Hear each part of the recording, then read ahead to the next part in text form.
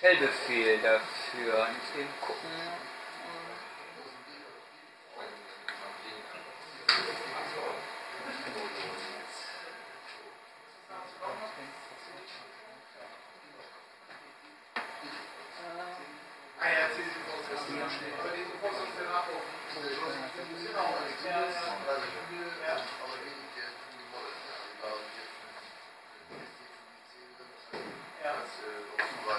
Ich finde jetzt so schnell nicht. Es gibt aber einen Shell-Befehl, da kann man eine Liste, eine, eine Textliste angeben und dann wird alles, was in der Textliste drin ist, wird dann gebrannt. Ähm, aber ich werde das so, so machen. Ich bin jetzt in, ich war dabei, eine GUI dafür zu entwickeln. Dann ist das viel, viel einfacher. Ich zeige euch mal eben die GUI dafür. Das, Ähm, war- das war's doch, was wir hören wollten. Genau. Ja, genau. Shell, das hat nichts zu machen der GUI. Shell-Befehl Ja. ist. Ne? Und zwar ist nur jetzt ähm, noch, noch- längst nicht fertig, also davon abgesehen. Das neue, neue GUI heißt Habanero, weil es passt dazu. Das andere ist ja Jalapeno und Habanero brennt ja genauso, nur eben stärker. Ja. Also, das, also, das kann ich mal jetzt sowas zeigen. Ähm, da kann man also jetzt schon eine, ein Verzeichnis drauf fahren lassen und das Verzeichnis wird komplett gebrannt. Ja, Was ist mit auf, die- auf unsere äh, Party-CD? Ja das Programm ist noch nicht fertig. Ah, okay. noch, außer dass es etwas anzeigt, ist noch nutzlos, das Ding. Achso. Weil ich Also jetzt das kann sich nicht drüber freuen, aber es hat keine Funktion. Ja, Ja, du hast ja noch bis morgen Abend Zeit. Also so schnell bin ich noch nicht. Nein, also, man kann da jetzt hier beliebige Verzeichnisse fallen lassen drin und alle die werden auf die Blu-ray gebrannt, egal wie viele. Und ihr seht, dass hier unten automatisch mitgezählt wird, dort in dieser Megabyte. Dann wisst ihr genau, aha, so viele Megabyte sind gerade drin. Also jetzt sind es 101, also 101 Gigabyte, also wahrscheinlich ein bisschen zu viel, aber ihr könnt maximal nur 25 Gigabyte Ja, aufnehmen. und SBP2-Device ist dein Blu-ray, was du angeschlossen hast. da. Das ist das Firewire, das ist so, das bei euch Firewire, auch also. ja. Also wer ein Powerbook hat oder äh, sonst irgendwie Morpheus-Rechner hat, ist SWP2 immer Firewire. Überall. Und das ist bei Morpheus schon mitgeliefert. Der, das Firewire-Device. Äh, nein, das müsst ihr dann bei, bei den jungen GUI runterladen. Dann. Oder aus Ah, Aminet okay. oder aus Morph- Morphzone oder wo immer. Ne? Also das ist, das ist noch nicht drin. Wie heißt denn nochmal dieser Firewire-Dings von Morpheus? Ja, Helios. Helios ist das denn? Ja. Achso. Ja. So, ich habe also ähm, zum internen Anschluss von einem, einem äh, Blu-ray-Gerät kann ich nur nichts sagen. Also man kann ihn natürlich intern mit dem SATA-Controller anschließen, aber dazu kann ich euch nichts zu sagen. Also müsst ihr ihn selber austesten. Man, dann könnt ihr einen Pegasus 2 nehmen, Blu-ray-Laufwerk rein, äh, SATA-Controller rein und anschließen. Aber ich kann euch nicht sagen, ob es funktioniert. Am einfachsten wäre es ja beim, beim Power Mac G5 wahrscheinlich, das einzubauen. Ne? Ja, ja. Weil der hat ja da. aber, ne? Wird er unterstützt? Ja. Obwohl, nee, die Powerboxen haben ja auch ähm, nur IDE ähm, DVD-Laufwerk. Die G5. Ja, die, Die Festplatten die sind G5. SATA, aber ähm, dann das DVD-Laufwerk ist noch IDE. Beim Power Mac G5? Ja. Aha. Ja, kannst du reinschauen da drüben. Hat noch den 40-poligen Stecker. Nur die Festplatten. Naja, also, da kann ich also nicht zu sagen, ob das an, an so einen SATA-Controller mit dem Device unterstützt wird. Also ich kann nur sagen, meine, meine, äh, mein Gerät an Firewire funktioniert. Das funktioniert tadellos. Übrigens noch nebenbei gesagt, also die, die Videofilme für Stand-Alone äh, Blu-ray-Player müssen nicht zwingend verschlüsselt, äh, verschlüsselt werden. Diese Stand-Alone-Player können auch mit unverschlüsselten Videos arbeiten. Und äh, die Programme, die es im Internet gibt, die produzieren diese unverschlüsselten Videos. Ähm, wenn ich mal zufällig auf so ein ISO stoße von einer Blu-ray, dann werde ich vielleicht nochmal hingehen und äh, ein Autorenprogramm für Blu-ray schreiben. Ja? Weil sowas gibt es ja für Linux, aber für Mofos gibt es noch nicht. Da muss man natürlich wieder dran setzen. Ich wieder gefordert? Das würde man dann wahrscheinlich irgendwie mit, mit dem M-Player oder M-Encoder dann umwandeln, die Videodateien, oder? Ja, ja, also ähm, die Videodateien, die auf allen Blu-ray-Playern laufen, sind die M2V-Dateien. Ja? Also das, das sind die, die an Playern standardmäßig laufen müssen. Ja? Weil die auch unter Blu-ray verwendet werden. Dann. Ja, das ist soweit, soweit zu Blu-ray. Schönes wenn wir uns ein. Zeit drum kümmern. Jetzt kommen wir zu der zweiten Sache. Scriba. Und zwar, wenn wir das mal. Scriba. Ich habe so einiges getan. Oh ja. Hier oben sind ähm, Tablatoren, ist also nicht- weiter tragisch. Man kann einfach mit Tablatasse springen. Äh, man kann dann verschieben in Echtzeit alle, also das ist eher so eine Kleinigkeit, die ich dabei eingebaut habe. Ähm, wichtigste Neuerung, die also viel diskutiert worden sind, ist zum Beispiel Barcode-Generator. Da haben sich viele gefragt, was soll der Kabelkram eigentlich? Braucht ja kein Mensch. Aber wenn ich sehe, ähm, dass der QR-Code so erzeugen kann und wenn ich sehe, wo die Dinger überall draufkleben und packen, denke ich, warum soll man kein Editor, äh, kein Editor für das Ding haben? Ja? Kann den einfügen, hat man die hier drin, kann sie irgendwo auf seine Visu äh, Visitenkarte oder sonst wo draufdrucken. Ja?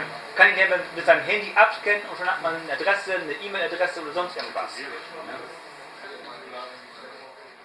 Bei der andere Barcode äh, ist sowas, ist ein normaler Strichcode.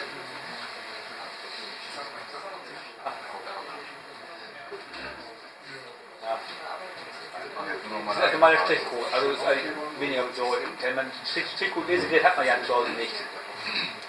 Es gibt so auch Apps für, die das können. Die Apps, die QR-Code können, können auch vielfach den normalen Strichcode. Ja, ja, ja, gibt es ja, ja. Ja. Ähm. Ja. Genau. Ja, genau. Ähm, was ich für wichtiger halte, ist das nächste: Etiketten und Visitenkarten. Es gibt unter Morphe S und unter Amiga kein Programm, wo- womit man Visitenkarten erstellen kann und womit man vernünftig Etiketten erstellen kann, ohne dass man sich alle zehn Finger abbricht. Beim, beim Platzieren von den einzelnen Karten manuell unter PageStream oder unter Draw Studio. Und das hasse ich. Dieses, ab, dieses künstliche, komplizierte. Und da habe ich einfach das mal selber mal in die Hand genommen mit rüber und habe ein Tool dafür entwickelt, was es automatisch anordnet. Und zwar sieht man die Anordnung, das sind die A4-Seite, genau eine Vorschau. Und hier gibt es eine ganze Menge Vor Voreinstellungen. Speziell für Every Zweckform, Business Card und Data Backup Business Card. Kann man nur alle denklichen Größen auswählen. Data Bäcker kannst du rausnehmen, die machen nächstes Jahr den Laden zu. Ja, Ja, wer weiß, ne? der ist dann nur die, die Größe der Karte. 85 x 55 mm oder, oder, oder 90 x 50 oder Wer ist dann der Bäcker? Ne, dann, dann braucht man, also von den Visitenkarten braucht man immer nur kann Karte editieren. Selber unten einfach die Maße selber eingeben. Und dann. Da unten Genau, ja, die bei- eingeben, das geht ja. Man braucht nur eine Visitenkarte oder ein Etikett zu editieren schon hat man eine ganze Seite praktisch fertig.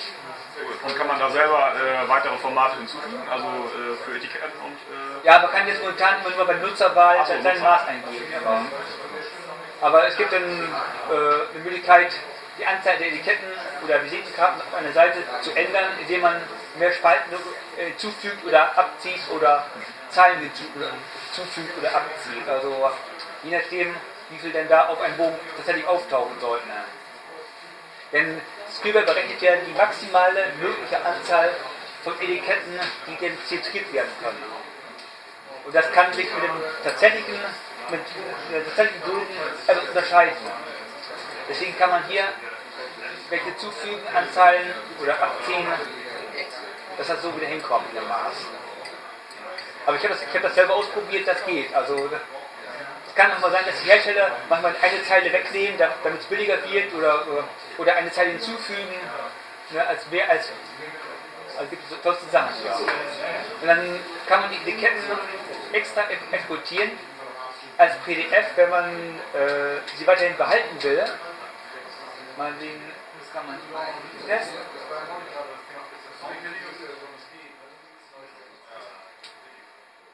Ne? Dann hat man, kann man immer wieder hier im, VPDF ausdrucken lassen, die Dinger. Oder man druckt sie eben, eben selber aus mit entsprechender Anzahl der Kopien immer. Ne? Wenn man sagt, mal, ich brauche 10 Kopien oder 10, Scha äh, 10 Bögen Etiketten, dann kriege ich eben jetzt 10 ein und drucke dann einfach. Fertig. kann ich die denn jetzt äh, nur als PDF exportieren oder auch als, als Skriba-Datei abspeichern, sodass ich sie auch nochmal verändern kann nachträglich? Nur als PDF, weil das ist ja nur, ist ja nur eine, eine Hilfstool, also Ja. nur, damit ich überhaupt Etiketten machen kann. Man kann, kann natürlich das hier abspeichern, diese Voranschau kann, man, äh, Ja. kann man sich abspeichern und dann Dann wieder, könnte ich ja per, per äh, Zwischenablage das wieder einfügen. ja genau. Ja. Es ist also nur eine Hilfstool, damit ich vernünftig Etiketten machen kann. Also, so, dann gibt ähm,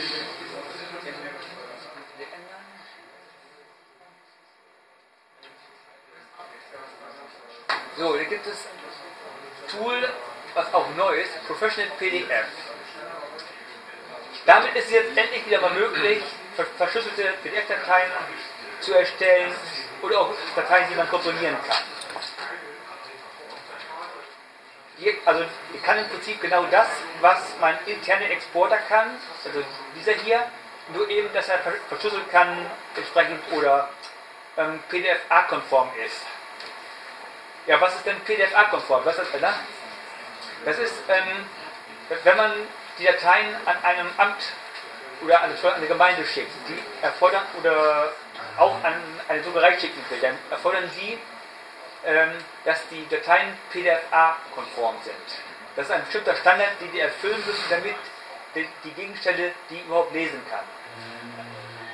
Deswegen, also das ist eine offizielle Richtlinie, denn werden die Dokumente ähm, äh, per XML nochmal ähm, formatiert und dann äh, können die Gegenstände das problemlos lesen. Also es ist eine Richtlinie von Ämtern, von Großdruckereien und sowas alles. Also wenn man äh, mit, PDF, mit Professional PDF PDF-Dokumente erzeugt und mal wegen PDF-A-Konformität auf 1a oder 1b stellt, dann weiß man, aha, jede Druckerei im Land kann die auch lesen. Oder jedes Amt oder jede Behörde kann das Dokument entgegennehmen. Was bei, was bei diesen Möglichkeiten nicht immer das äh, problemlos funktioniert.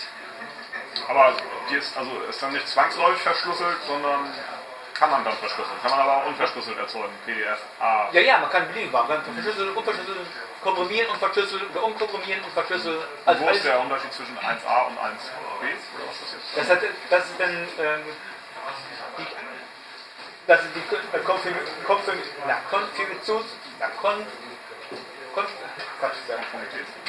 Konformitätsgröße ist das. Also 1b ist wieder konformer als 1a. Also wenn ein Amt zum Beispiel das PDF nicht lesen kann, mit, mit PDF A1a, dann muss man eben auf PDF A1b umschalten. Aber eins von den beiden muss es lesen können, weil das ist ein Standard in Deutschland. Oder wenn ein, eine Großdruckerei ähm, Daten drucken soll und es einfach nicht, nicht lesen kann, dann muss es von 1a auf 1b, dann eins von den beiden muss es können. Ansonsten äh, taugt ihr Programm einfach nichts. Also das ist nur damit, ist nur äh, quasi Einstellung der Spielregeln, wo, womit sich der Empfänger halten muss, damit er überhaupt was lesen kann am PDF. Wenn das die exportieren würde, dann kann es passieren, dass die Druckerei zum Beispiel nichts lesen kann. Oder dass ein Amt irgendwie in Deutschland ein Dokument nicht öffnen kann. Ja? Mit, mit dieser Funktion kannst du garantiert lesen oder garantiert irgendwas öffnen. Also als für Normal-User ist es im Prinzip egal, mit einschalten oder ohne.